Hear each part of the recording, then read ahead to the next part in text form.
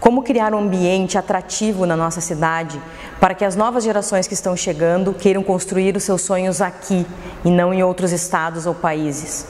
O personagem deste episódio da série Mentes Transformadoras é Jorge Aldi, superintendente de desenvolvimento e inovação da PUC e um dos idealizadores da Aliança para a Inovação de Porto Alegre. A inovação tem um potencial de transformação das pessoas, transformação das organizações, transformação da sociedade que a gente vive. A inovação ela é fruto de uma dinâmica que tem como fatores fundamentais as pessoas, né? São as pessoas que inovam, são as pessoas que transformam. Pessoas qualificadas, pessoas excepcionais, pessoas com capacidade de enxergar o novo. E principalmente a possibilidade de se construir algo em conjunto, cooperado. Então, inovação envolve pessoas e envolve uma poderosa visão de futuro. Uma visão de futuro compartilhada, uma visão de futuro construída por diversos atores que estabeleçam essa visão de futuro com um mínimo de consenso, uma plataforma comum.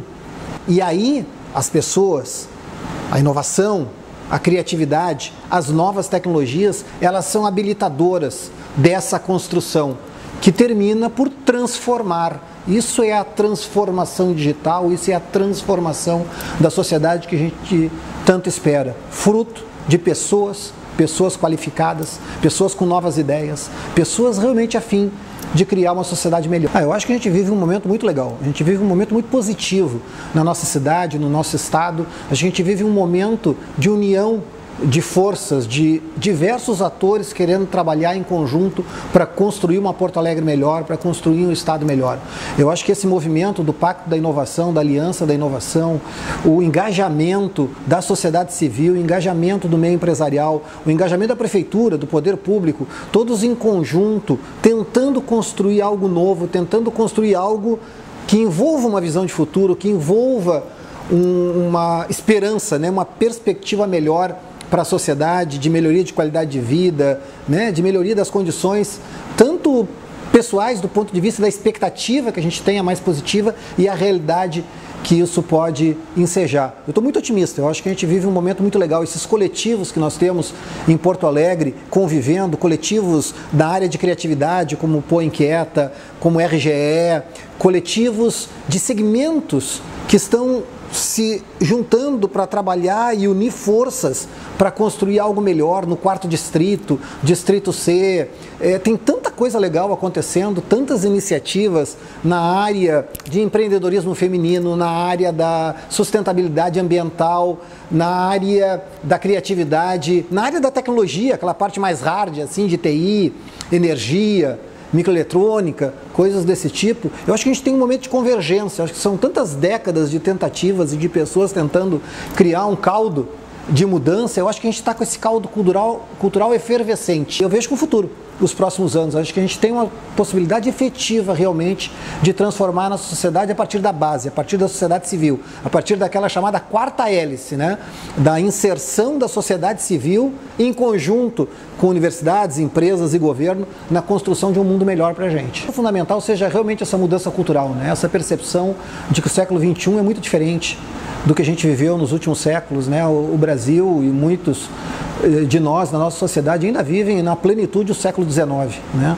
Ainda vivem um mundo onde, para algo ser legal, algo não pode ser. Para uma empresa crescer, outra tem que desaparecer. Para uma universidade evoluir, outra tem que pagar esse preço. É, para parte da sociedade se desenvolver, outra tem que pagar a conta. E a gente não vive mais nesse mundo. O século XIX já acabou. Já teve até o século XX no meio do caminho. O século XXI é um século de crescimento coletivo, de crescimento conjunto. Né, dos atores atuando. Para mim crescer, todo mundo tem que crescer. Eu sou fruto de uma coletividade que, para que ela se desenvolva, todo mundo tem que se desenvolver. Não, não é mais aquela visão de que para mim está bem, não me importa os outros. Hoje a visão é, para mim está bem, todos têm que estar tá bem. Eu tenho que ajudar a todos a crescer juntos comigo. E isso vale para as universidades, para as empresas, para os governos, para os partidos políticos, né, para a sociedade civil como um todo. Acho que essa é a característica maior do século XXI dessa sociedade do conhecimento. A percepção de que é cooperando, é trabalhando junto, é construindo uma visão de futuro e um futuro melhor que todos nós crescemos. Para um crescer, todos têm que crescer. A construção dessa visão de futuro, de uma Porto Alegre, de um estado mais legal, um estado que a gente queira estar, é algo absolutamente fundamental, não para nós, que somos uma geração que já está nos seus momentos de, talvez, as últimas chances de fazermos algo de diferente e deixarmos um legado para as novas gerações. Mas as novas gerações que estão vindo, elas precisam urgentemente encontrar um espaço, encontrar um ambiente em que elas consigam enxergar este ambiente onde nós vivemos, o espaço para elas construírem os seus sonhos, os seus sonhos pessoais e profissionais, que elas tenham a sensação, baseado em evidências, numa realidade que elas podem construir seu futuro aqui, que elas não precisem ir para o exterior ou para outros estados para construir seu futuro. Essa é a missão que nós temos: construir um ambiente tão legal aqui que todas as gerações, essas gerações que estão chegando agora, da nossa região de gaúchos, eles enxerguem aqui as condições de realizarem os seus sonhos. Que eles não precisem realizar esses sonhos nos Estados Unidos, na Europa, no Canadá, na Austrália, em Santa Catarina, em São Paulo eh, ou no Nordeste. Que eles encontrem condições aqui de realizar seus sonhos pessoais e profissionais de desenvolvimento. E mais que isso, que pessoas do mundo inteiro também vejam em nós um lugar que, ao virem para cá, encontrem as condições de crescer e se desenvolver como pessoas, como seres humanos, como profissionais e assim a gente realmente seja uma referência nesse mundo que a gente vive aqui no sul do Brasil, né, de qualidade de vida, de um ambiente legal, dinâmico, criativo, inovador para crescer. É quando a gente pensa nesse ambiente, nos potenciais que nós temos como sociedade, enquanto sociedade enquanto pessoas, enquanto gente que compõe a nossa sociedade, toda a nossa tradição gaúcha, de uma tradição de muita, muito empreendedorismo, uma tradição de muita, de muita educação, de, de muita politização, de muita. Quando eu, quando eu vejo isso, quando eu me dou conta do, do, do potencial que a gente tem, talvez o que mais me angustia, o que mais me inquiete, é aquela imagem assim de um cara que está com sede e o copo está ali e a gente estica a mão e não chega no copo e o copo está ali do lado. Está tudo à nossa disposição para transformar isso e fazermos essa passagem do século XIX para o século XXI. Então é aquela história, tu está morto de sede, a água está na ponta dos teus dedos e tu não consegue pegar esse copo. A gente tem tudo para pegar esse copo e transformar e matar essa sede.